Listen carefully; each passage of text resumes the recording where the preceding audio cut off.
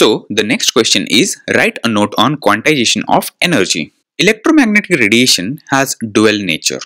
It behaves as a wave and sometimes as particles. To explain this dual nature of electromagnetic radiation, Max Planck has given the theory of quantization of energy. According to this theory, matter absorbs energy of electromagnetic radiation discontinuously, but it absorbs the radiation in the form of small energy packets called quanta. In case of light radiation, each quantum is called as photon.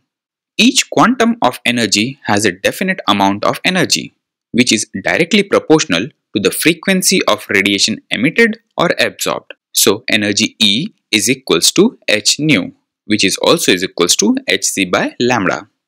Thus, energy can be absorbed or emitted only in multiples of quantum, that is 1 quanta, 2 quanta or 3 quanta.